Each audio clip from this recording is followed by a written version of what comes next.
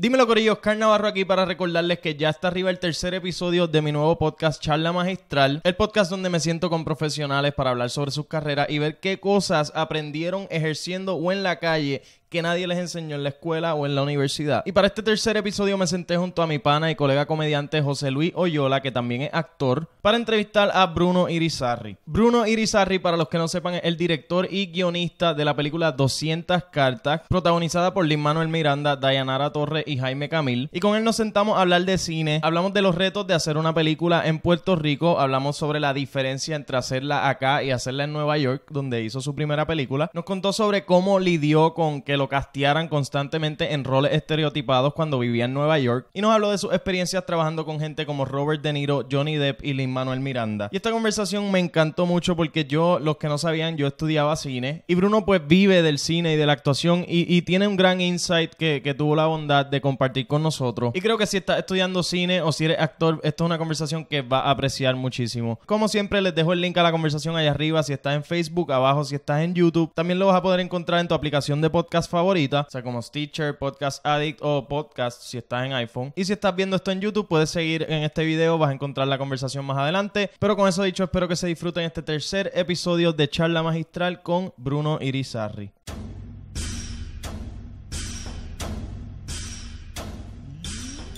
No, esa no, no, la otra.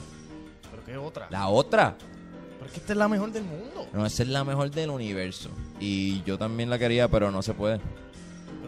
Le podemos robar la idea. No, cállate, ponla, va a empezar el show.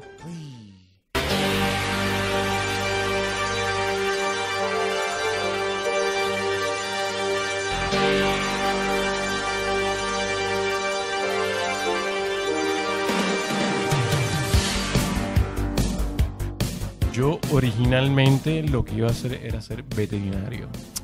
Todos Wow. íbamos veterinario, yo chamaquito No, era no, yo una no. cuestión, una cosa por los animales y todo eso. Ya. Y eso fue hasta el último momento, en el último año de high school, pues fue que más bien yo empecé en la escuela libre de música y así fue que yo empecé eh, nada, y me di cuenta que yo era bien vago para estudiar, así que sabía que no iba a hacer. Siempre se empieza por un, por un, por un arte. Mucha, mucha gente empieza por un arte y termina en otro. Sí, yo empecé, lo conmigo yo empecé tocando trompeta. Ok.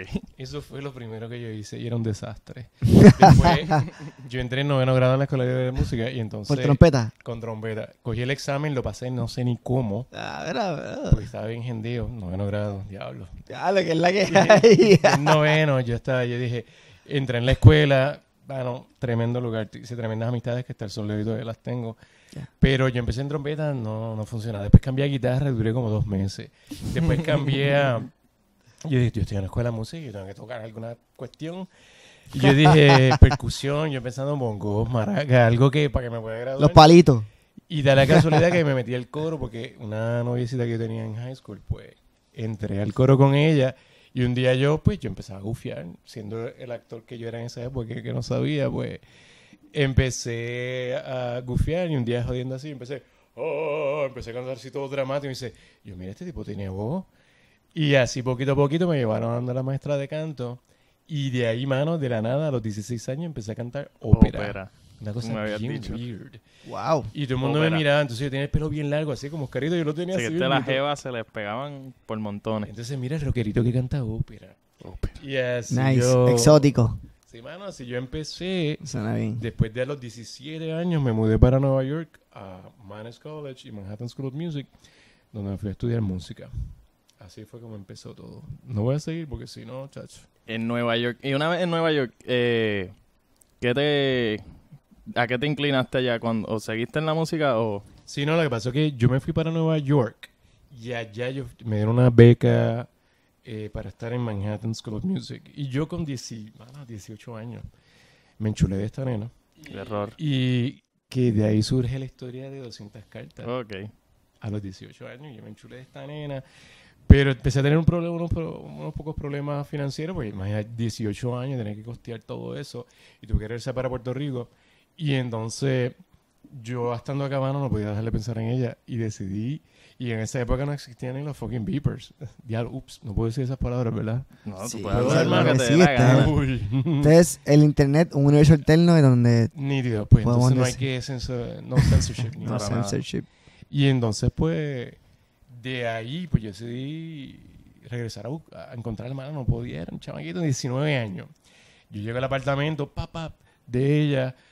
Abre la puerta, mano, un chino, brother. Abre la puerta. Overweight, Carlos. Yo, diablo. Yo dije, O sea, que no era ni lindo, o sea, por lo yo menos. dije, "Coño, si fuera- yo dije, el sugar daddy de ella. I don't know. Pero ella se había mudado. Ah, ok. Se mudó, y, pero que en esa época no es que tú llamas información así, mira, estoy... Mano, no la encontré por ningún sitio. Pasaron 26 años y me la encontré en una calle de Nueva York, ella con un hijo. Y eso fue después de que ya salió ve- 200 cartas y todo, pero de ahí es que surge la historia de 200 cartas, Wow. parte de ella. 200, para los que no sepan, 200 cartas es una de las películas puertorriqueñas, yo creo, más exitosas, ¿verdad? El director ellas, y ellas. escritor de la de 200 cartas, pues está aquí con nosotros, Bruno Irizarry. Pero eso vamos a hablar más adelante. Vaya, vaya. Eh, una vez estaba estudiando música allá. Ujú. Terminaste estudiando actuación, ¿verdad? Lo que pasó fue que cuando yo estaba estudiando, yo, yo pues, dicen de HD, you know, ADD es, eso yo lo tengo desde que tengo, si es que, si es que existe, pues yo creo que no existe. yo, yo entiendo que el ADD es una persona sumamente creativa y las personas alrededor que no pueden lidiar con personas sumamente creativas dicen, ah, bueno, es que tú tienes ADD. Y eso es lo que yo creo. Y yo de chamaquito, pues era así. Eh, pero yo en Nueva York, pues mm, al yo estar pensando en tanta musaraña y tanta cosa, de ahí regreso para Puerto Rico, estoy en el Conservatorio de Música, de ahí me voy para la Florida, University of South Florida, seguí con música, yo dije, déjame mezclar música con un bachillerato. ¿Hasta qué edad tú, tú seguiste en la música? Yo seguí en la música hasta los 26. Y ahí es que... 26, 27. Lo que pasa es que entonces, en ese momento, cuando yo, yo canté ópera en varias producciones, yo fui a Alemania, yo, yo bregué, yo bregué un par de cositas. Y ahora, digo, no me digas que cante ahora porque suena como... Sueno espantoso si me escuchas ahora. Pero lo que pasó fue que una vez yo acompañé a un panita que iba a una audición a- de un comercial para, para un fast food. Y entonces yo fui, nada, a acompañarlo. Y entonces me dijeron, ¿tú vas a audicionar? Y yo, sí, dale, dale. Bueno, me lo dieron a mí y el pana mío no. y ahí fue Ya, que no todo empezó. pana. Yo era un chamaquito. Sí, todavía somos panas, ¿verdad? y así fue como empezó, bueno, así fue como empezó la cuestión de la actuación. Yo siempre actuaba, cantando, yo siempre en la, en la, en la ópera, yo cantaba, pero yo siempre le daba un toque bien, bien realista. Yo, ¿sabes? Yo era, porque el personaje está, pero, ¿sabes? Yo digo, coño, me acaban de meter una puñalada, pero tengo que cantar un área de cinco minutos. ¿Cómo caramba yo hago? me metieron una puñalada y tengo que cantar cinco minutos. O sea, it makes no sense. Pero Ok. así como- Y yo decía, y yo siempre le daba un toque bien histriónico a lo que yo hacía. Y siempre me interesaba empezar a dirigir. Yo veía todas las cuestiones. Y básicamente así fue, como empezó. De ahí brinqué al teatro, del teatro a la televisión. Y de ahí fue que vine para... Aquí estoy con ustedes. sea, te diste- dándome un Sí, beer. has llegado lejos. Charla magistral. coño, coño, de hablar que lo pones así. Coño, pero aquí han pasado gente Diablo. buena. Jorge Rivera Nieves, Diablo. Rafael Cancel, Miranda. Otro, Ah. coño, Ah. I'm super Ah. proud. Entonces ya me siento, I'm feel special now. Sí, sí. Muchas gracias por ser invitado. Déjame bajarle. Déjame bajarle, bajarle. Y no ha A salido, brief no ha history salido de la charla magistral. y no ha salido ninguno todavía. Ya, ya, pues este tiene que serlo después de esos dos que mencionaste, porque No, Tiene, no. tiene que grabar por lo menos No, unos, es- unos bueno, primero es el de Jorge Rivera Nieves. A lo- Pero eh, aquí yo tiro la premisa de que. ah, acabas de chatear, exactamente, exactamente. Ah, ¿no lo han grabado todavía? ¿sí? Sí, Lo- está lo grabado, grabó, pero no, no lo voy a soltar. Te principio. antes. Sí, no, no, ese es un, ese es súper importante, esperando a que muera. Ah, ya. Super Never mind, dark. Pichele, pichele. No, no, no. Estás, estás cabrón. Ave María. Yo aquí todo coño, que estos chamacos, qué cool son. Me importa un carajo. No, no, no, se fue el. No, no, No, pero- no, espérate, espérate. Esas dos conversaciones, Mm. yo creo que han sido las mejores dos conversaciones que yo he tenido en mi fucking vida. Gracias Porque a Dios, porque lo Rivera quieres matar, cabrón. Ahora que quieres que se muera para que sea más. no. Mira, este, por, por saber nada más que dos, dos óperas en las que participaste, que hiciste. Bueno, la primera ópera que yo canté fue Bodas de Fígaro, el Noche de Fígaro con Justino Díaz. Yo tenía 19 años. en el conservatorio. Guas de Figueroa es la, la, de la, la de- la famosa... No, no, está la de, está la de Rossini. El barbero, ah, el barbero. largo. Ok, Yo canté la de Mozart, que ok. Walking Drive, farfalone amoroso. Ah, ok. Sí, yo sé que no saben ni qué carajo estoy hablando, No. pero está bien cool. pero yo un chamaquito, mano, yo empecé cantando súper, súper chamaquito, súper chamaquito. Y estuvo nítida, pero llegó un momentito que yo dije, you know what, this is not for me. Y ahí fue que yo hice la movida. Sí, después Y de aquí estoy 15 hablando nuevamente de con ustedes al podcast que todavía no salió al aire, pero está cool. Quiero pasar a Pues- las bibliotecas. Una vez ya, ya tienes 26 años, ya empezaste, te inclinas, ahí es que surge lo de actuar. Sí, más o menos, más o menos a los 26. Bueno, mi primera obra, yo hice una obra. Ok. Hice una obra ¿Pero en Puerto Rico. por ti o No, no, no, no. Yo tomé en la última.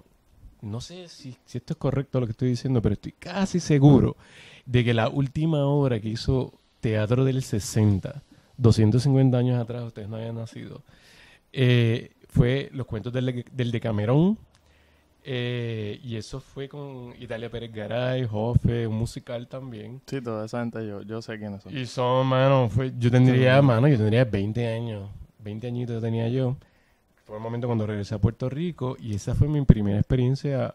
una- esa fue mi primera obra de teatro. ¿Qué años ¿A sí qué se edad puede saber? ¿A qué edad regresaste? A Puerto Rico. Ma- Mala mía, le preguntamos, le preguntamos a la vez. Dile, Tú dile. preguntaste a qué edad regresó, yo le pregunté... ¿Cuándo fue eso? Eso fue Eh, como en el ¿en qué año? 84 o algo así. Ok, una cosa ok. así. Yo no me acuerdo, no, no, no me acuerdo, borré cinta. Pero fue en early 80s, en los, en los 80. Y ahí yo dije, coño, mano, esto está nítido. Digo, yo hice unas obras en, en high school y eso, pero eso no cuenta. Sí, sí. Eso fue un desastre, mano. Yo hice una Yo obra... hice obra en, Yo hice una obra en high school en elemental. y yo estaba bien hendido. No me Yo era el gato con líneas. botas. No me acuerdo. Gato con botas. El gato con botas. Yo hice Shakespeare, yo hice la comedia de los errores y fue bastantes errores. que, que cuando vine- vino la función, yo dije, yo fui donde la maestra y dije, maestra, yo no me sé esto. Y ella, gracias por ser tan honesto. Pusieron al- a la otra persona que lo estaba haciendo. Porque yo no, yo fui bien honesto, esa fue mi primera experiencia. No me, no me aprendí las líneas, fue bien, Ah, ya. fui bien, fui bien leña, pero lo tengo que admitir. Pero la maestra fue bien cool. Esa fue mi primera experiencia. Después vino con Teatro del 60, que creo que fue la última función, en el Teatro Silvia Resach, que espero en Dios que creo que Ah, lo la van a renovar ahora. ahí. El Teatro 60 se presenta, ha hecho otras cosas, de- pero vi- bien poco. Y no, y, y no ha tenido su teatro, o sea, no, Mm, no- tenía. ese teatro una Pero de seguro es la última, la última que hicieron en el Resach. Ajá, en el, en el Ellos hicieron. Resach. Eh, Los cuentos La Paz. eso fue ahí. ya, ya.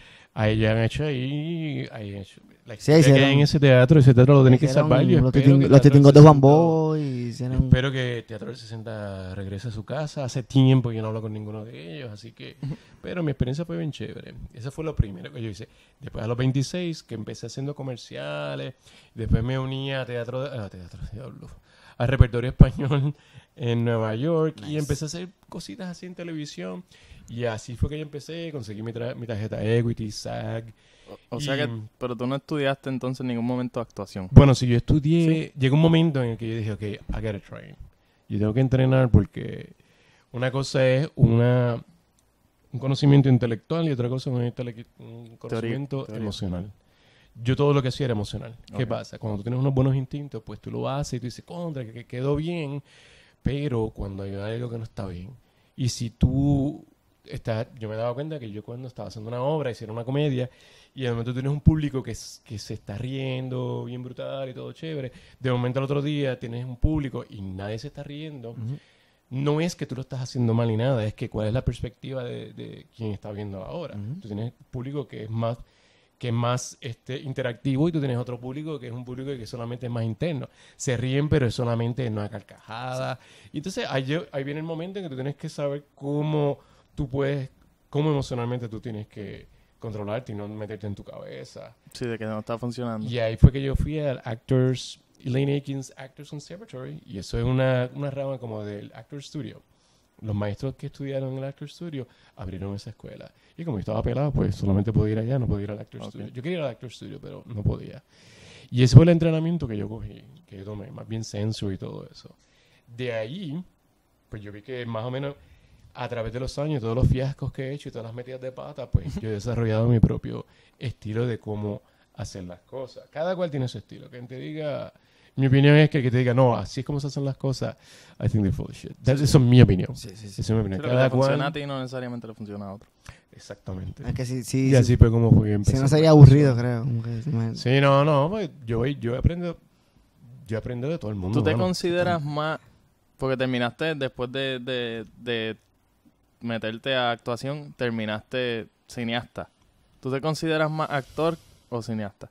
En este momento más cineasta. Ok. En este momento de mi vida. Y ese cambio de música actor, el momento donde giró todo fue esa audición. Eso fue lo que te... No, no, no, no, no, porque desde...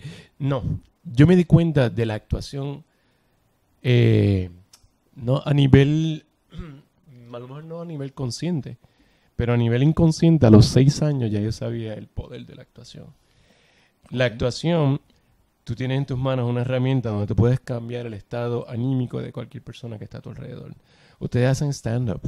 Cuando las personas vienen, tú tienes una persona que pueda que se sienta de una manera particular, que no se sienta bien o lo que sea, se va a ver y se va a ver un stand-up, a menos que sea una mierda, obviamente, y puede que se ponga de mal humor en cojones. Pero si la pasan bien y si tú por lo menos en mano media hora, tú hiciste, cambiaste el estado emocional de una persona para que se sintiera bien, Ujú. pues eso es lo que nosotros como actores, eso es lo que vamos a hacer. Yo ahora que pues soy más director, escritor, productor, actor, sí me encanta la actuación y lo- siempre lo voy a seguir haci- haciendo, pero yo me di cuenta que a los seis años, una vez yo vi a mi mamá que estaba bien deprimida. Y yo con seis añitos y pude identificar eso. Y yo lo que hice fue que se estaba, había una música. Entonces yo empecé a hacer unas pantomimas. Yo con seis añitos, yo sé, empecé a hacer unas pantomimas, me acuerdo que era un, un samurái.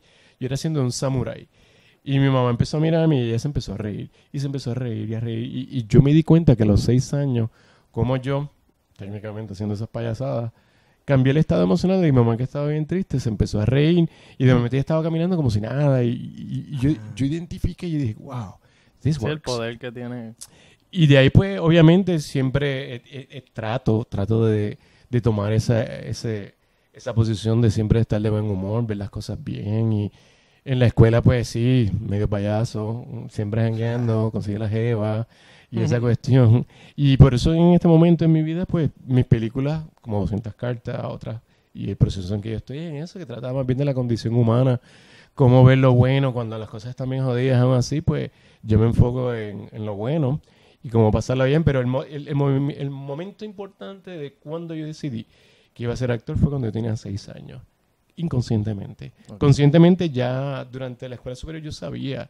Lo que pasa es que cuando tú estás en un proceso que estás creciendo en la calle de los 11 años, de los 11 años yo estoy trabajando vendiendo periódicos, Sí, vivía sí. ya en la calle. Y estaba- o sea, yo vengo de una familia pobre, no, no, yo no vengo de una familia clase media alta ni nada, yo vengo de una familia, pues. Y pues yo tenía que trabajar desde chamaquito y tuve que bandearme. Y, y descubrí que, primero que nada, todos actuamos todos los días. Todos somos actores. Todos. La cuestión es tú identificarlo. El papel. Tú, ves- tú dices, "Ay, pero yo no sé actuar. Yo, "Oh, oh, oh, Sí, tú- algún sí papel sabes". te va a quedar bien. Tú ves O sea. Tú puedes ir a, o a tu oficina o a tu mamá, lo que sea. Y a veces, sabes que yo doy talleres de actuación para cine. Y en mis talleres yo digo eso todo el mundo. Todos somos actores.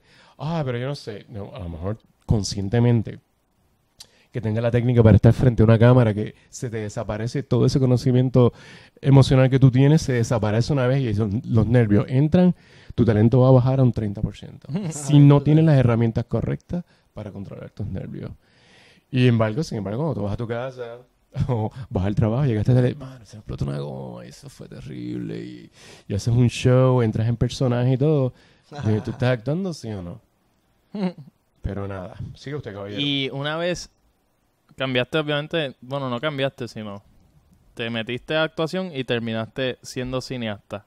¿Qué, ¿En qué momento fue que dijiste, Ahí sí, ok, ahí ahora sí yo fue- quiero hacer una Yo estuve película? trabajando en repertorio español por un tiempo.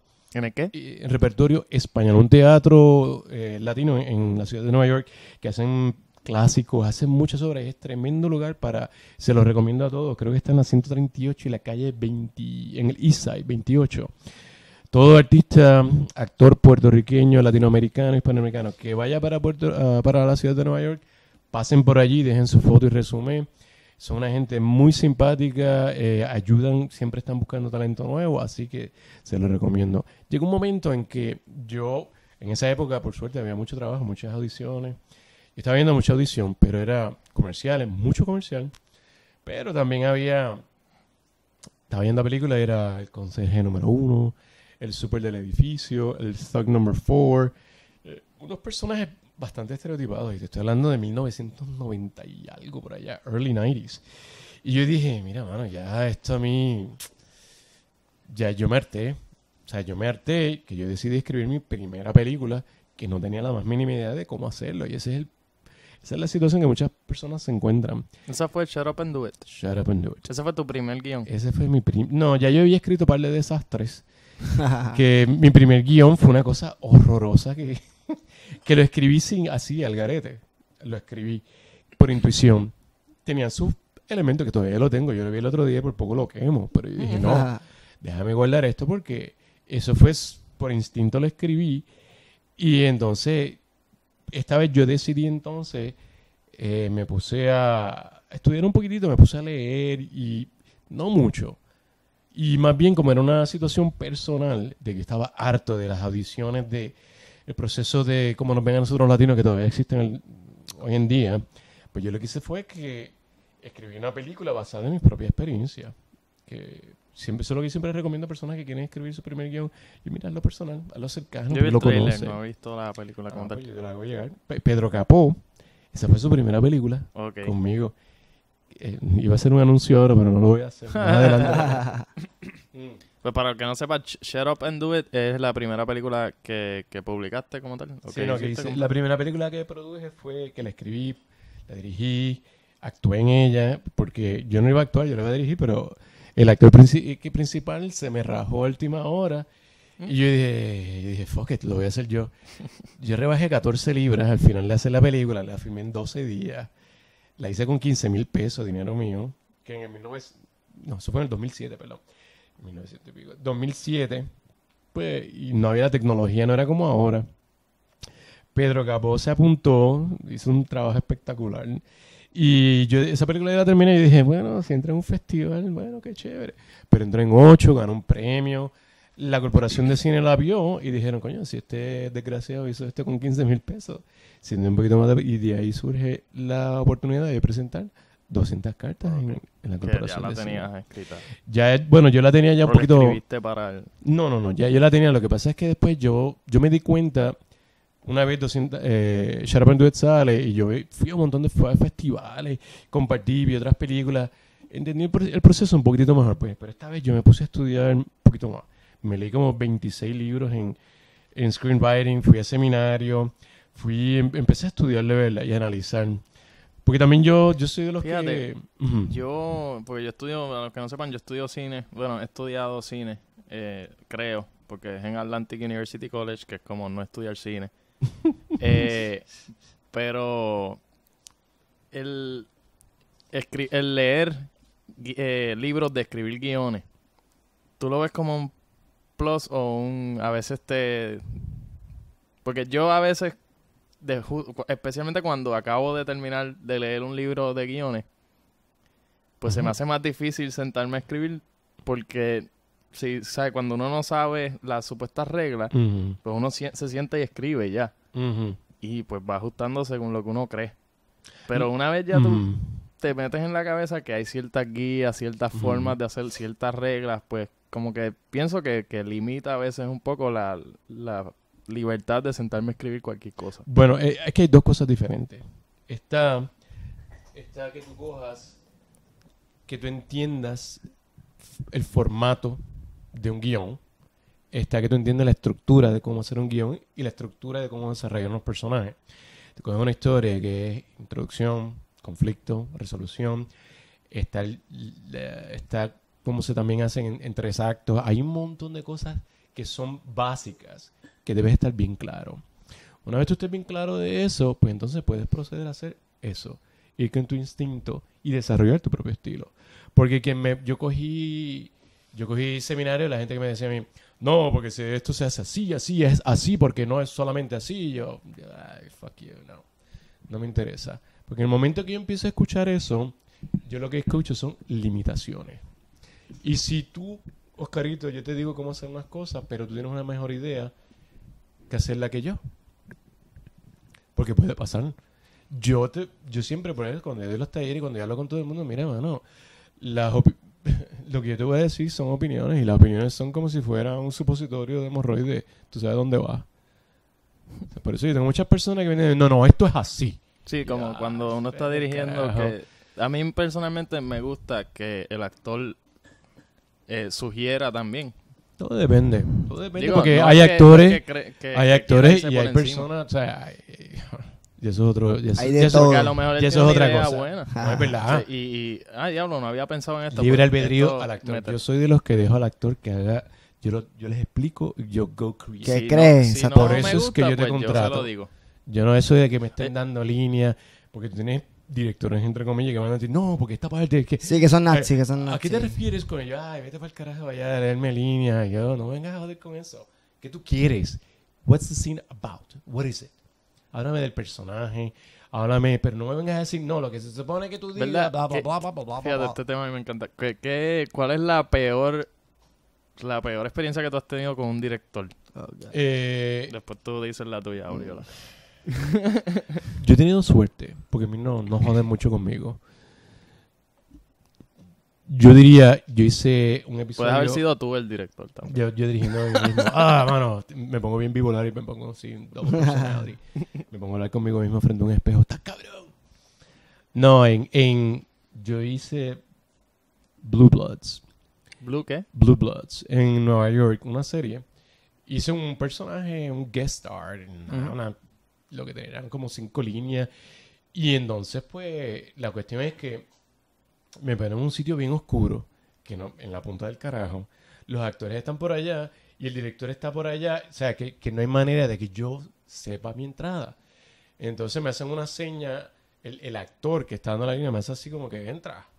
Y yo entro, hago la escena, me dice, no, tienes que entrar antes. Y yo, y yo puñeta, dame la señal. Entonces el director le dice, ah, está bien, te damos la señal. Y yo, good. Entonces no hay nadie. Y yo, pues por respeto profesional, pues yo no. Y yo veo al actor, más o menos yo estoy viendo los ademanes y entro viendo lo que él está haciendo. Ajá. No, no, todavía está tarde. Y dije, entonces yo me encojono. Ya, ya a mí no me importa trabajar. Pero te estoy hablando que es un episodio de 3 millones de pesos, que hay un cojón de crew, tienen todo esto. Yo estoy trabajando con Wahlberg, no con el hermano, no con Danny Wahlberg, con el hermano. Eh, con esta nena, una muchacha, una actriz ahí. Y me están haciendo quedar mal frente a ellos. Y ellos me están mirando como que, coño, tenés que entrar. Y yo dije, ay, cal carajo. Yo dije, you know what? You said you were going to give me an entrance and you did not give me my cue. Now you have a second ID right here. Why don't you stand over there? He's listening to the because I am over 50 feet away because you want to get a wide shot, but I cannot no puedo escuchar. Entonces, ¿cómo tú pretendes que yo entre? Pues ponlo a él para que me dé el cue, pero que no me dé el cue cuando yo tengo que entrar, que me dé el cue tres líneas antes para yo poder caminar y estar a tiempo ahí. ¿Qué tú crees si hacemos eso? Y el tipo, dice- y el tipo dijo, y el tipo era francés. Oh, yeah, uh, yes, that's what I wanted to do. Yes, that, that's it, Bruno, that's what I wanted to do. I'm like, pues cabrón, ¿por qué no lo hiciste? Y entonces lo hicieron, pa, todo quedó lo más bien. Y yo, ay, cabrón. Pero me, o sea, frente a todo el mundo me puso en el spot. Y Sí, yo pues se la sí, soplé sí. para atrás ahí porque en ese momento yo dije, I don't care si vuelvo a trabajar en esta mierda de show. Porque yo, o sea, yo me siento, ya, ya soy un don, yo, yo estoy bastante seguro de mí mismo para que me vengan a cuestionar de esta manera cuando yo sé que es la preparación y no soy yo. Sí. Pero yo sé que no, va, no le va a caer bien lo que yo hice. Sí, sí, sí. Pero lo hice de todas maneras. Porque yo no estaba haciendo online, yo lo hice profesionalmente. Yo no, lo dije, yo no me puse, ah, está cabrón, que se mierda. Y lo mismo pasó en el set de The Good Shepherd con Robert De Niro. Ok. No, no, no, no pasó nada malo. No. Tú me dices, experiencia mala, esa ha sido la única que yo he tenido. Esa en particular. Sí he tenido actores que vienen a darme líneas, line readings. No, porque en esta línea, why you empiezan a darme líneas y yo les digo, yo les digo, ¿y por qué tú dices esa línea así? ¿Por qué? Yo siempre digo, ¿por qué?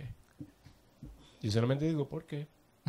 y yo me digo, bueno, es que y, y al final al cabo es una cuestión completamente externa. Es que yo creo que el tono de, ya, tono de qué carajo, qué carajo es lo que está pensando el personaje. Why is it, why, why is he saying what he's saying? ¿Por qué está diciéndolo? Robert De Niro fue que uno estábamos haciendo la escena y la escena no está funcionando. Y yo estoy, y la están haciendo en español, y yo estoy haciendo, perdón, tengo que quitarle ya un. Puñeta. Ya. Eh, es- la escena es en español, pero tiene un- a una persona que, que no habla español, entiende español, pero no habla español. Una cosa es que tú lo hablas desde da más, estás pescando línea Ujú. a que tú hables, you're fluent. Y yo lo veo, y aquí yo estaba, yo tendría como. Eso fue. Eso fue para la película The Good Shepherd. Ok. Y, eh, mano, yo tengo a Robert De Niro al lado mío. el tipo es súper cool. Bien cool. Y entonces, pues, no está funcionando la entrada porque faltan como dos líneas para que cuadre la cosa un poquito mejor. Y ellos están diciendo, esto no funciona, esto no funciona, ¿qué hacemos, qué hacemos? Y mi corazón es catunca, catunca. Sí, y porque yo sé, o sea, yo sé lo que hay que arreglar. Entonces está el actor que está haciendo Fidel Castro y todo el mundo mirando. Y yo digo, excuse me. Y todo el mundo hace, me mira. Y el, el DP es el DP de Aviator, un, o sea, an award winner y todo el mundo. Y Robert De Niro le hace, yes. Me hace, yes, Bruno. Porque se aprenden los nombres de todo el mundo.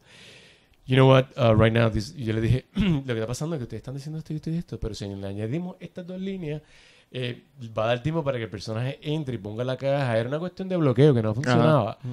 Y entonces ellos hablaron así, y, y el tipo mira, Robert De Niro mira al tipo, y le dice, will this work? Y el tipo le dice, yeah, yeah, that work, yeah, yeah. Todo el mundo hace, como que, entonces todo el mundo empieza, todo el mundo se encojona porque tú hablaste. Todo Es el un mundo, momento este huele bicho ahí. Todo el mundo hablando, el mundo, "Shh, ¿qué quiere el bicho este? Digo, soluciono la escena y el, todo el mundo, ah, claro, ah, not in their heads, yes, ah, qué cool. Anyway, al final, él vino donde mí a hablarme. Robert De Niro. Y se sentó al lado mío y empezamos a hablar un rato. Un tipo cool, cool.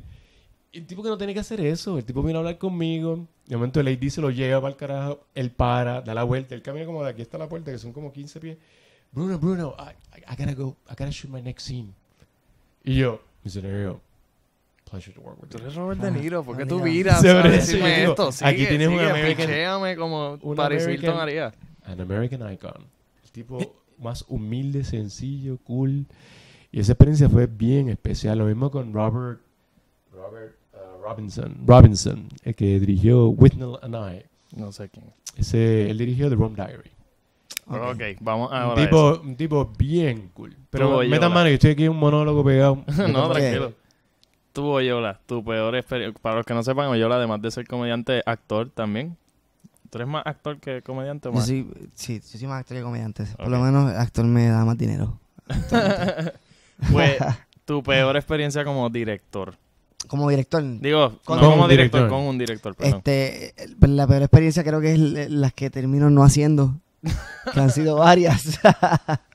¿Qué pasó? Eh, no, nada, o sea, como en el proceso, parecen diferentes cosas. Hay boyes que se caen, ¿sabes? Esto que, o hay cosas, Ok. qué sé yo, eh, pasan mil cosas. Pero así en el set, en el set, eh, realmente, honestamente no he tenido tanta dificultad. Realmente no, no. ¿Sabes qué? Yo hice un comercial de la, de la Comisión Estatal de Elecciones ok. y Ajá. fue con Marco Surinaga. Ajá. Y era algo con Marco Surinaga. Sé quién. Él dirigió la gran fiesta. Eh, sé ¿Me es quieres ayudar? Sí, sí, sí. ¿Me quieres ayudar? ¿Qué, más- qué más ha dirigido? Es la- eh, García, la muerte de García Cayo. Lorca. No, no, chacho, no. no. No, es el garete. Es el video de la muerte de García Lorca también. Ok. By the way, antes de que un disclosure, el es panita mío. Ya, ya, ya. Así que No, lo no, que no. vayas a decir, por favor. Habla este, mierda de él, olvídate de No, él no, no voy a decir nada malo. Yo, yo O sea, tengo que- mucho aprecio, es tremenda Que era persona. una. o sea, no, no, todo lo, todo lo contrario, ¿sabes? Que, Ujú. que fue actually mi primera experiencia de un comercial, punto. Ujú. Y yo era la figura principal, era bien corto. Él estaba dirigiendo. Y tuve que hacer más, más tomas de las que yo pensaba que iba a tener que hacer. Ujú. Pero no fue nada, o sea, no fue una mala experiencia. Esa es como que la- el, el hardest time que yo he tenido on set. Ajá. Pero la peor experiencia, vuelvo y recalco, es la que el proyecto que termino no haciendo. Cae. Sí, sí. Ah, claro, claro. No, pero eso está bien, mano. Cuando, cuando tú tienes una persona que es pues, perfeccionista y todo. Yo nunca he trabajado con Marco, así que no puedo hablar. Pero eh, siempre he hablado con él y tengo mucho respeto y bien buena gente. No, porque, ¿sabes? Me- Pero me cuando gusta, tienes un actor porque- que, que te... eh, un director que te pide varias tomas o lo que sea, usualmente, so you know, un 99% es una cuestión técnica. No es... Muchas veces puede que no seas tú. No, no, no. Si, yo- el casting, si el casting está bien. Ahora yo lo sé, pero esto fue hace seis años, ¿sabes? Como que... Sí, era, estaba empezando. Mm. Sí, ¿sabes? Es como yo, get- yo... O sea que la estabas cagando. Yo getting used to... yo getting used to ser la figura principal en este Mm. anuncio de 15 segundos Claro. en algo, ¿entiendes? Como que el, el, Mm. el, el pressure, como esa experiencia. Fíjate, eso puede ser también un factor, tú pensar, esto va a ser 15 segundos y yo llevo aquí todo el día haciendo la misma fucking toma. Eso es algo que la gente tiene que entender, hermano. Esto no, también no es fácil. Sí, no es fácil, Esto no es está- fácil, es un bad trip. La gente, ay, yo quiero ser actor. Y ¿Eso estás seguro, mano? Sí, mano, porque, porque soy chistoso. Se suda, se suda. Soy chistoso, pues ay, yo puedo ser actor. Y yo, ujú, Pues vamos ahora a lo que, lo que mencionaste, a The Rome Diaries. ujú. ¿Qué, ¿Cuál fue tu experiencia en The Rome Diaries? No ah, fue bien cool, fue bien cool. Fue... ¿Qué, qué tú eras? ¿Un personaje secundario? no, esos son day players. Eso es lo que se llaman day players. Day players es que lo que tú tienes son un par de under five. Day player es que un- tú vas a trabajar un día, tu personaje tiene como cuatro líneas y te vas para el carajo. Ok. Y ya. Pero fue con Johnny Depp. Sí, sí. Él La escena fue con La él. escena fue con él. Ok, y él brutal. es súper fucking cool, mano. Súper buena gente. Y él me saludó, entonces, pero lo que- la cuestión era que era un tiro de lejos en la playa y éramos él y yo nada más. Y tú estás ahí, yo estoy ahí, coqui, coqui. Mm. No, Sí, Ah, porque me dijeron, me dijeron, no le hables, déjalo quieto, deja- no le hables un carajo. Y yo, ok, whatever. Mierda, yo estaba allí y yo estoy así sentado y yo digo, well. Y, y él me mira y dice, yes. And I, how you like Puerto Rico? Oh man, Puerto Rico is awesome. I love it. I'm gonna have you, you go, you try this food? What is that? Eh, empezamos a hablar mierda.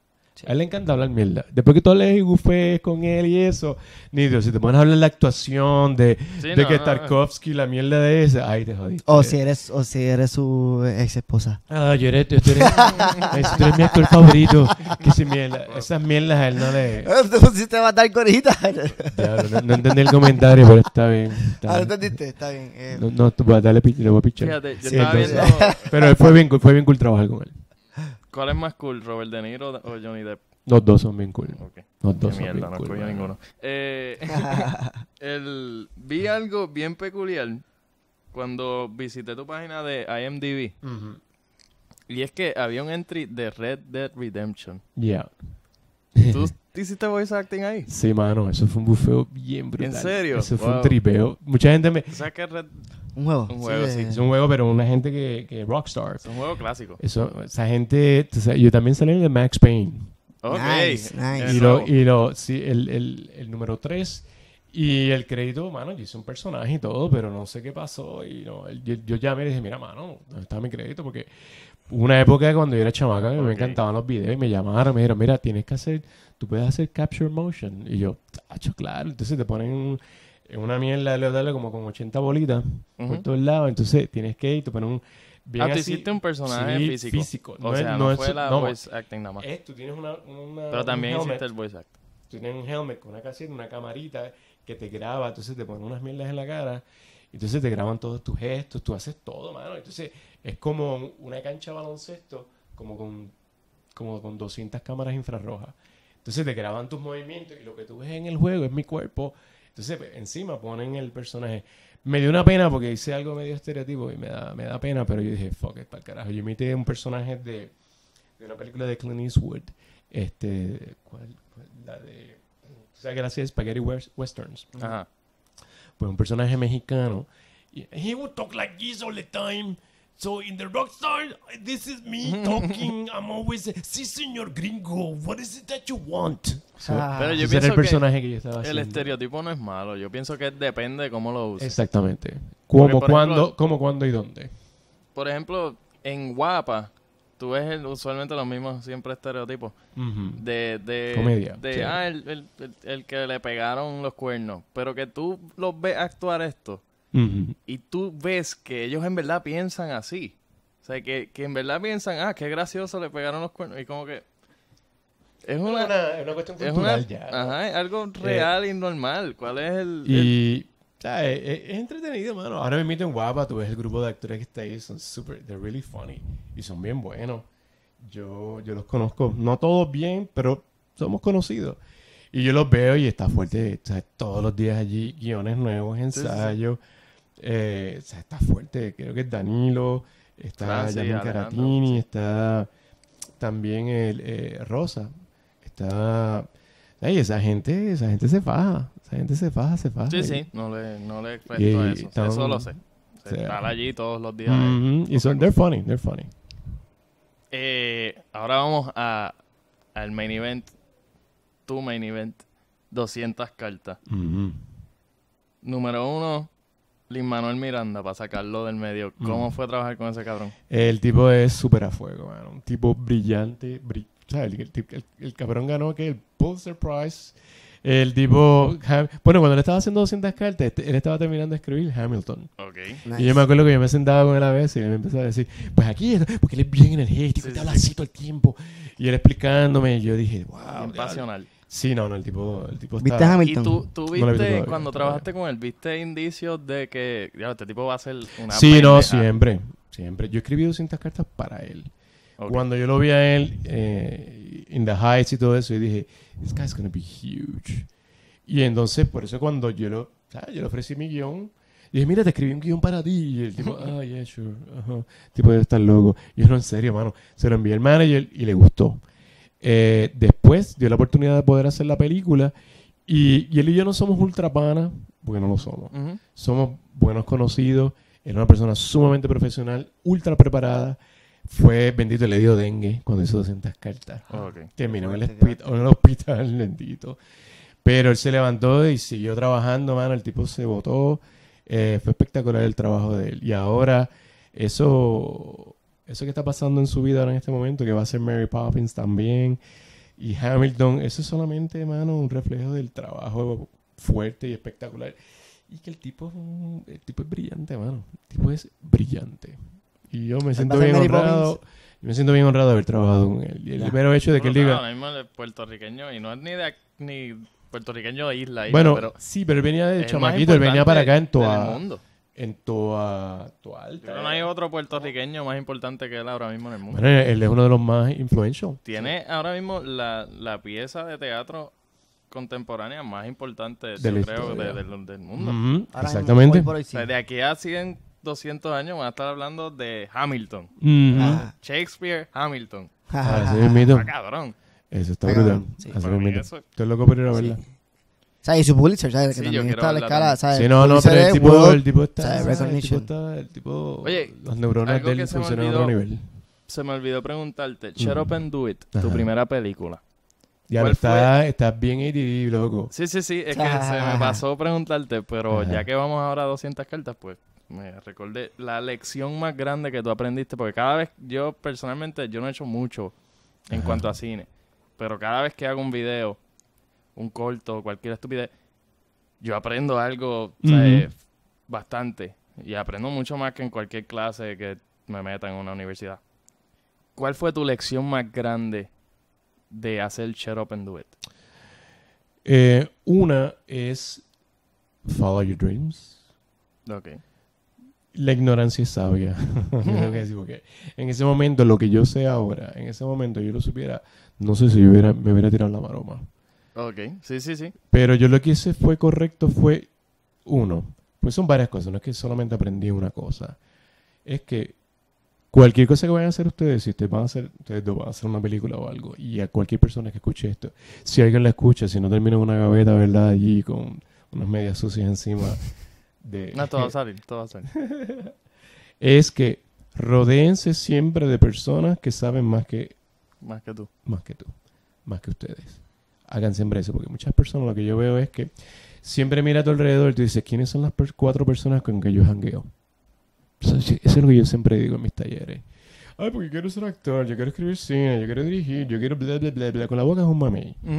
Mira quién está a tu alrededor. Y si tu mejor amigo de high school, porque yo tengo mis amigos de high school, los tengo todavía, pero si son más futeros, que les gusta beber, joder y todo eso, y tu otro pana este, es un sloucher, whatever, no estoy diciendo que todos son así, por favor. Pero tú tienes que ver que si tus valores y tus metas, dónde están, y las personas a tu alrededor van a ser parte, si te van a ayudar a, tu, a, donde tú quieres llegar. Porque si te rodeas de personas que no saben tres carajos, y entonces todo el mundo también, aunque sean personas positivas, y te diga, ok, mano, vamos a meter mano, ¿qué tengo que hacer? Pues estás jodido. Porque si tú mismo no sabes qué hacer, ¿cómo te lo vas a decir a otra persona lo que tiene que hacer? Sí, sí. Tú puedes tener una idea intelectual intelectualmente hay muchas personas que saben que son cineastas consagrados. Nunca han hecho una puta película, pero dicen, ah, no, porque en el cine Ajá. esto y que lo otro. Y yo, ¿tú has hecho una película? No. ¿De qué carajo estás hablando? Yo no me atrevo a hacer una película. Claro, tú podrías, Todavía. claro que sí. Tú puedes. No me atrevo. Pero, pero estás siendo honesto, por lo menos. Pero si te buscas un productor, una persona que sabe, y tú tienes una... Mano, la cuestión es tener una buena idea y que haya pasión. Después que yo vea eso, yo meto mano. Si yo veo... Pues, mano, que esta idea que tú crees, a lo mejor que sí... Compromiso, compromiso. Mm, no. No, no, no, no, no. Una persona me, me quería contratar y me estaba pagando muy bien. Pero estaban tan al garete y no está. Y era, bueno, vamos a ver. Y yo, no, no. Eh, vamos a ver, no. Esto se hace sí o no. En, en between, no. Pero para, para ser bien claro, una, rodéate siempre de personas que sepan más que tú. Ya sea en stand-up comedy, ya sea hacer cine, ya sea lo que sea. Cualquier cosa que te vayas a hacer en una cafetería, restaurante. Porque si lo vas a hacer al garete, eso, you're doomed for failure. Una. Dos, no lo puedes pensar mucho.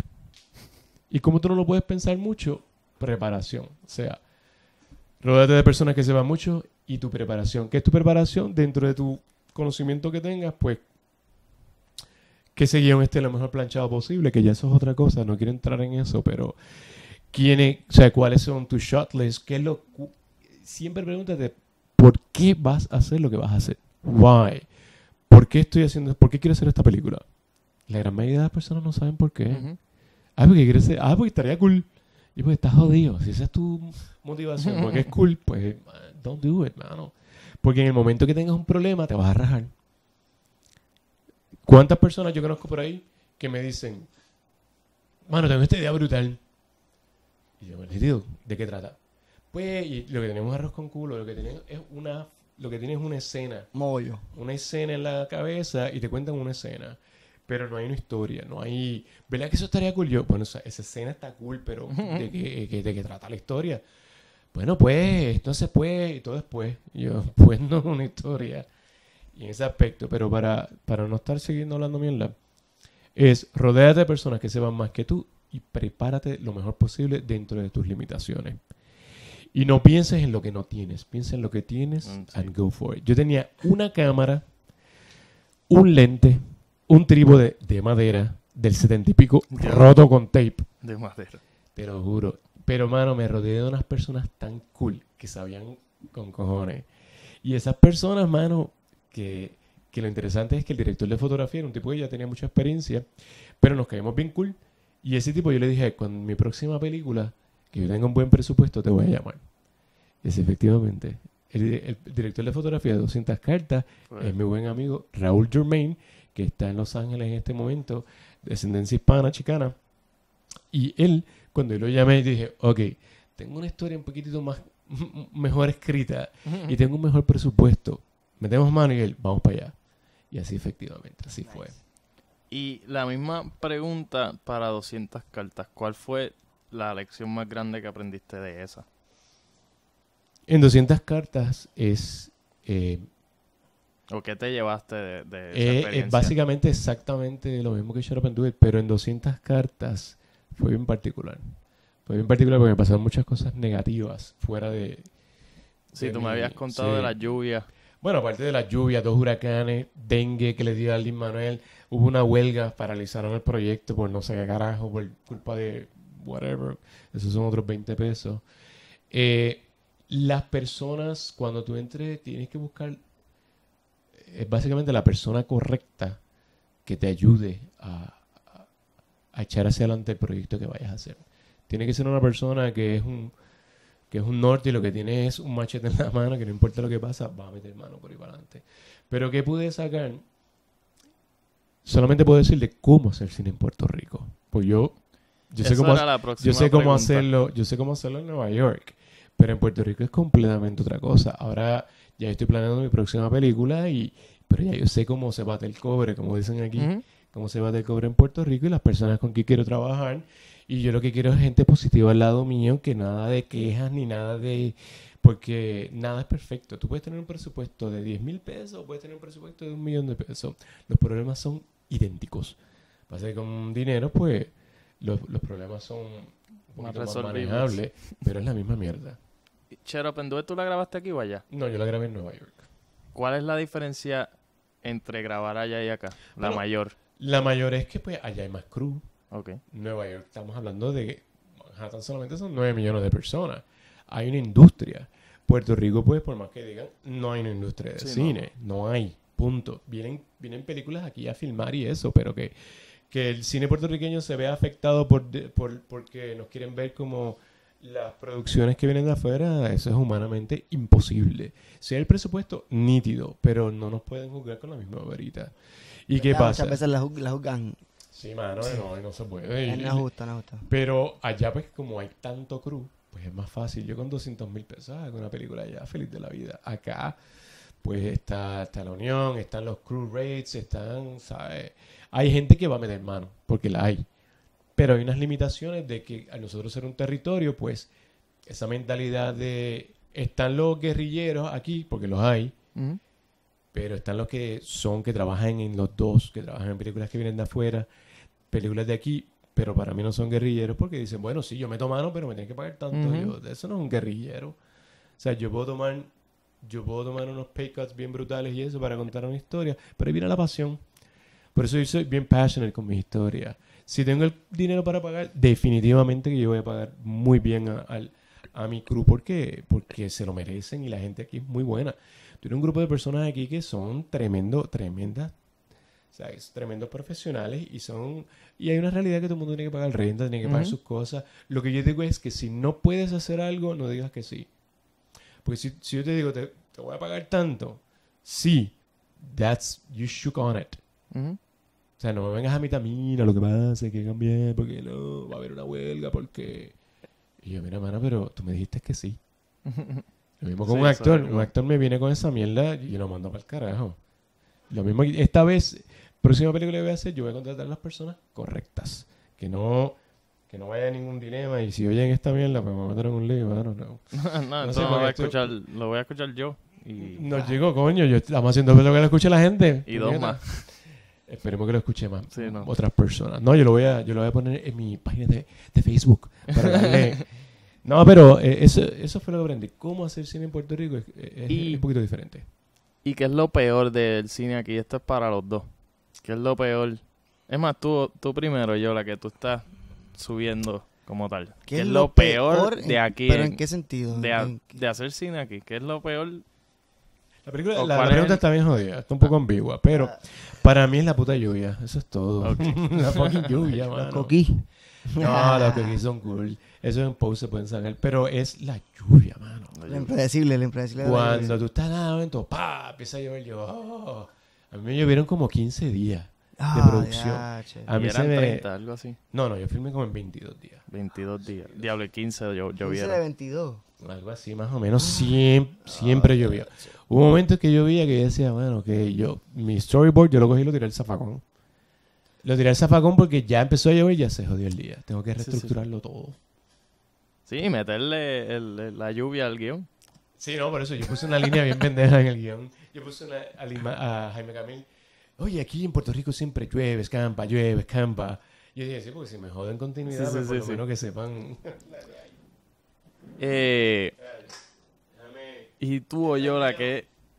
¿Qué es lo peor o qué es lo más cuesta arriba? ¿Qué es lo que más te jode? Pues la de las peores experiencias que yo he tenido, que resultan a veces hasta incómodas, no ha pasado siempre, pero muchas veces, ¿verdad? Yo, al igual que, que Bruno, he hecho mucho, o sea, yo, estu- yo estudié en la UPR actuación, estudié antropología como, como minor, eh, y, he cogido, y he cogido un par de clases por ahí por el lado. Eh, pero sí me, me eh, leí mucho y he aprendido mm, sea, sobre cada posición que hace, el- como casi cada posición en el cine, ¿verdad? Tiene su job description. Y me he encontrado con muchas producciones que no necesariamente la gente conoce su job description y entonces ahí empiezan a pasar eh, Al garete style. a ver un revolú. Ujú. Que pues hay uh, siete directores y ocho DP y hay cuatro coaches de actuación. y- Ah, sí, pero ahí eso es eh, bien peligroso. y Eso, entonces, eso sí. eh, Para mí esas son las, las peores experiencias y me ha pasado en, en muchas escalas. Ha pasado con, con un buen budget y ha pasado, ¿verdad? Ah, a mí me gusta mucho la autogestión y cada vez que me llaman, como dice Bruno, si tu idea es buena y si veo que hay compromiso, yo voy para allá.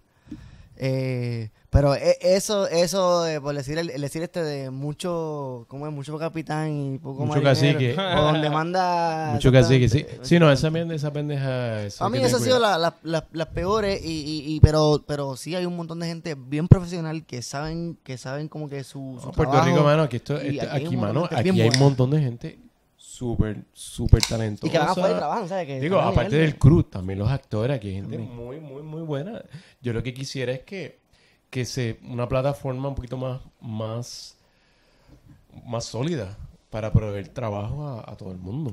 Yo pienso, yo pienso que guiones, o sea, hay, hay que, hay que hacer, hay que, Sí, hay que trabajar hay que en hacer guiones. una, Ujú. ¿sabes? Esa es la base, qué sé yo. O sea, para mí, para mí, si tú me vas a decir cuál es, cuál debe ser la prioridad número uno de Puerto Rico si quieres seguir fomentando el cine, tienen que fomentar la escritura porque ahí comienza todo. Sí, sí. O sea, yo, En, mi, en Atlantic, lo más que... O sea, hay gente que sabe, te puede hacer una fotografía bonita, te sabe bregar con lo técnico, pero lo creativo. En cuanto al guion, pues... Pasa que cuelga. la diferencia es que cuando tú tienes lo que se llama hands-on, este, ¿cómo te diría? En el set, por ejemplo, personas que están empezando, ponle que tú vayas a hacer cámara, ponle que tú vayas a hacer el boom, puede que tú vayas a correr, lo que sea, pues ya eso es, es tangible. Es tangible y físicamente tú estás tomando una acción y te satisface instantáneamente. Cuando tú estás escribiendo un guion, estamos hablando de meses, una puta idea, tú dices, esto no funciona. Bueno, 200 cartas yo escribí y yo la llevé a mi script doctor en Los Ángeles con los Cortez Brothers, Bernadette Rivero, fantástica, la recomiendo. Y ella me dijo, las últimas 35 páginas, throw it in the garbage. Y yo, fuck. Y ella tenía razón. Tenía razón, Marcos Urinaga leyó mi guion y me dijo, las últimas 35 páginas. ¿Y ese es el desenlace? Y yo dije, y ese, y yo, ok. ¿cuánto tardaste en, en escribirlo? Mira, yo escribí... Desde, desde que te llegó la idea Me llegó la hasta idea... que grabaste la película. Sí, ¿cuánto yo estaba en pasó? Milwaukee cuando me llegó la idea así. En Milwaukee, estaba me- menos 14. Y yo, mano, videos los hago yo aquí. Y me entró una nostalgia de Puerto Rico. Y de ahí, pues, como que empecé a escribir una bobería, llegué aquí. Y como que la idea empezó a cuajar poco a poco.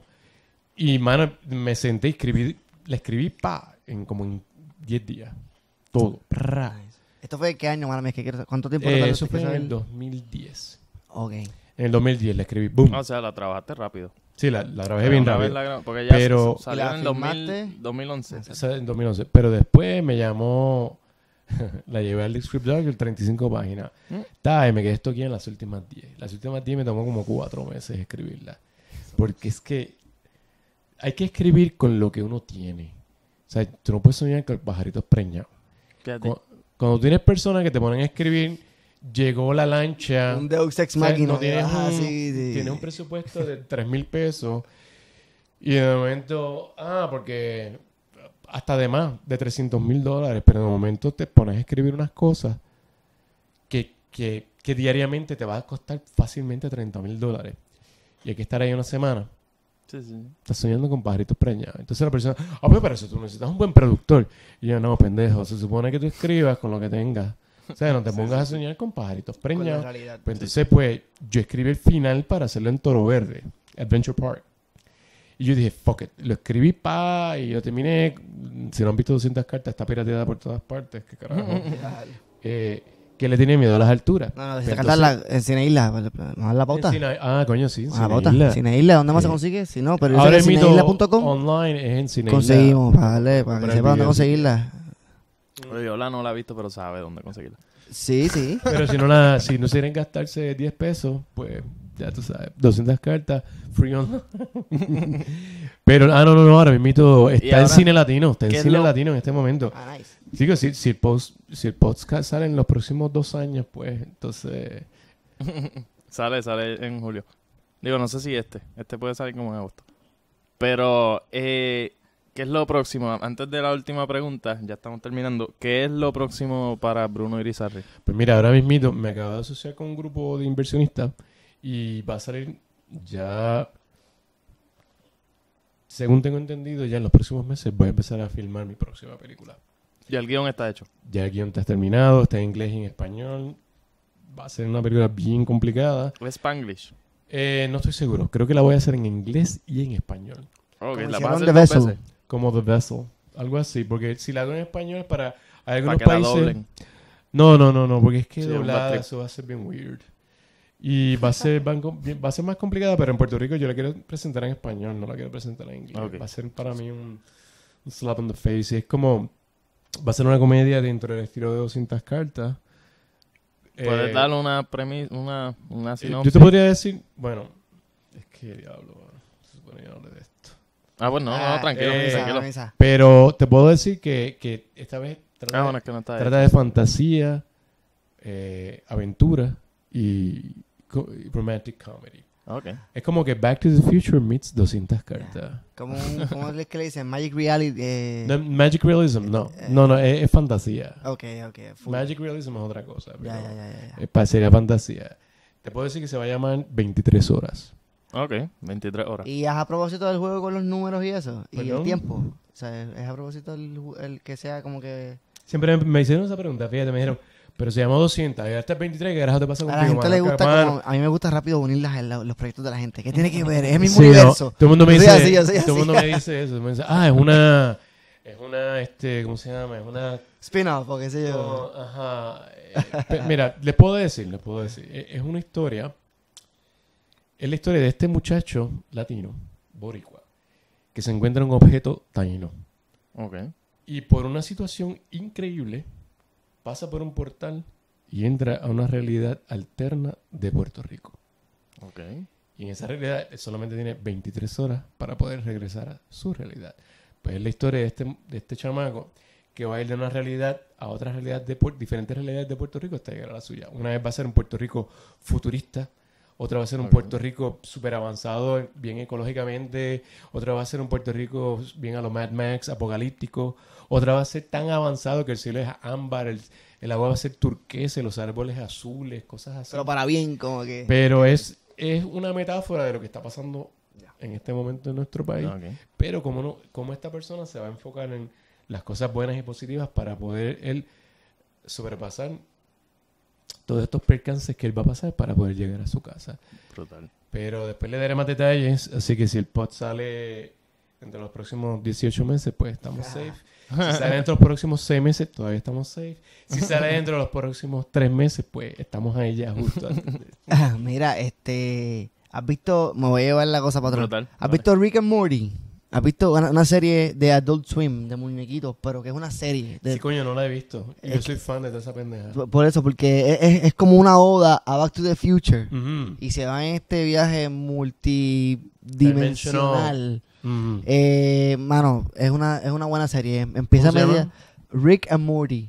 Rick Es and una serie medi- Ok. que empieza como media psicodélica, pero realmente te das cuenta, le da un, un giro serio y hay crecimiento de personajes, tiene un arco, la historia del personaje. Cool. De repente se salían para otro lado y está bien cool. Coño, qué cool. Y tienen esa cosa multiverse que casi... Lo mío es bien lo lo de, Lo mío es lo de de 23 universos horas. paralelos. Pero que él juega, ¿sabes? Él juega todo eso, él juega Time and Space, como que... Mm. Bueno, lo voy a chequear.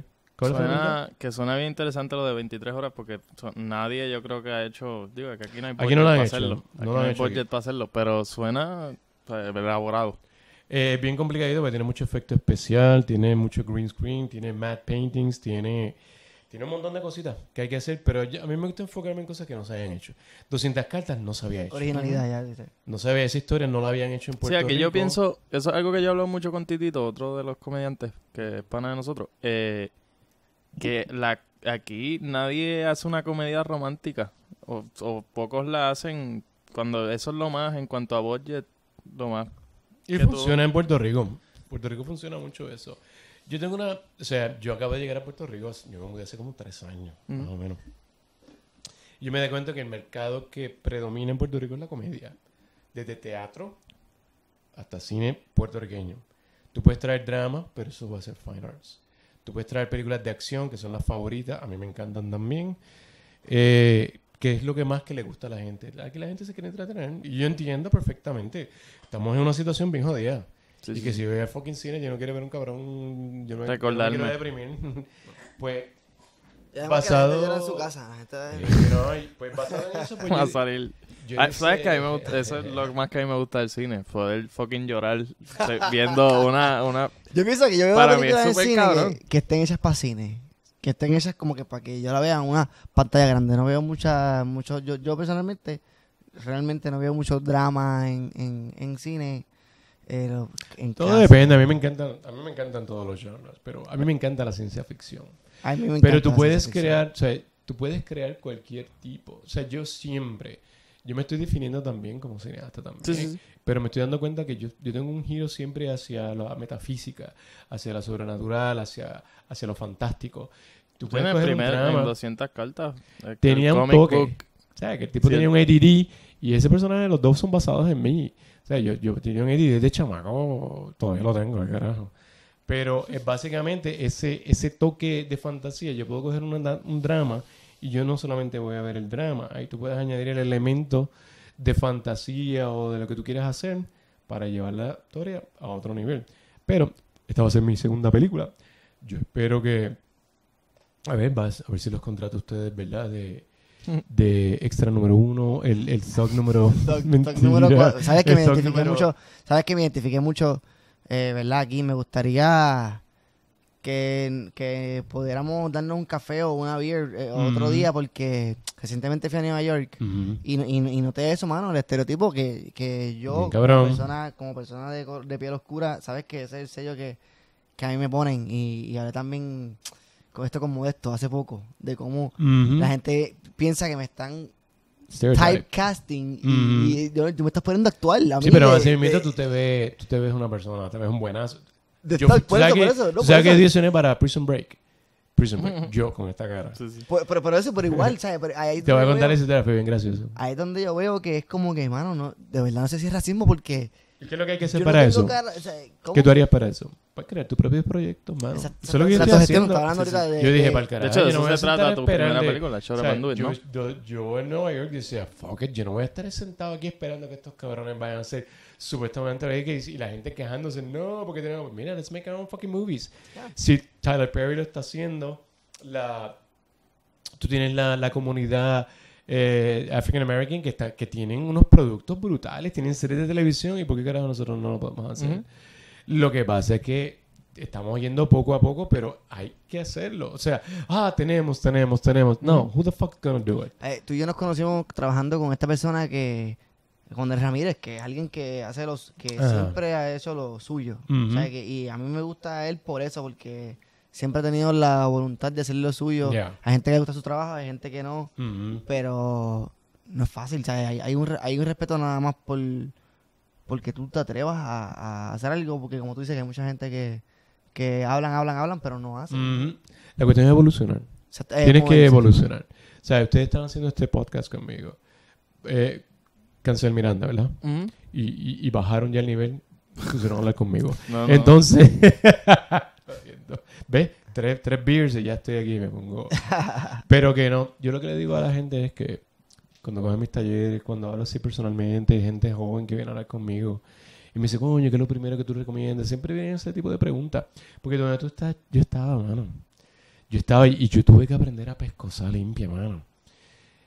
Yo siempre le digo es, si tú ves una persona que, que tiene lo que tú quieres o que te gustaría conseguir eso, ve a donde esa persona y pregúntale cómo lo hizo. No te pongas a decir, ah, yo lo voy a hacer a mi manera, porque sea, vas a perder un cojón de tiempo. O sea, I want to do it my way. Well, good luck. Pues sabrás que esa, con esa pregunta la que quería cerrar, eh, ¿qué es lo primero que tú recomiendas a, a alguien que quiera ser cineasta? Lo primero que yo les digo, no solamente cineasta, cualquier cosa que quieran hacer.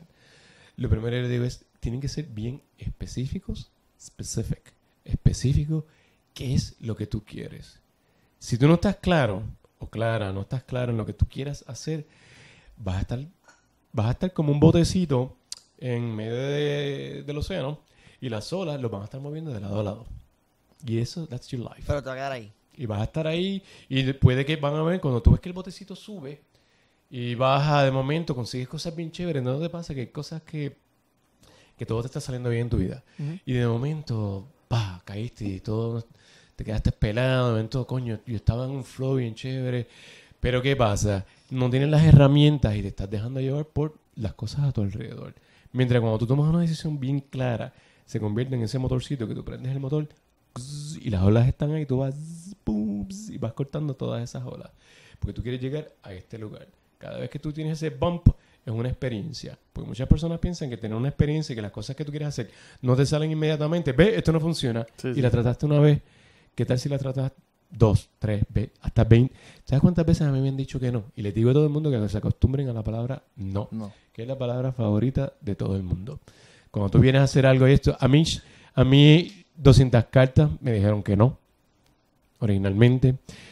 Lin Manuel me dijo que no la primera vez, Mm. Pero no porque no quería, es que no podía. Y yo entendí perfectamente.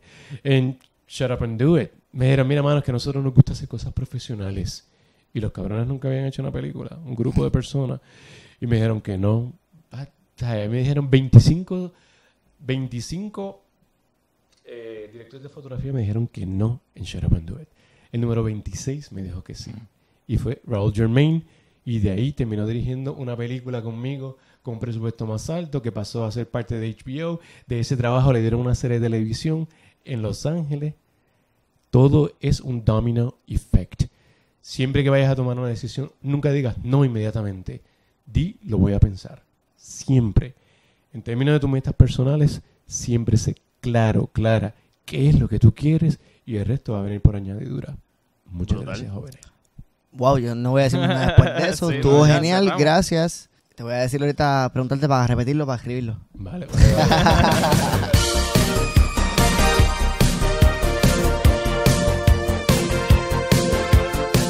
Bruno Irizarry, damas y caballeros, eh, actor, cineasta y, tremenda persona, super cool. Eh, gracias a Bruno, gracias a Viola por sentarse conmigo a hablar a esta hora. Si no han visto 200 cartas, pueden buscarla en cineisla.com.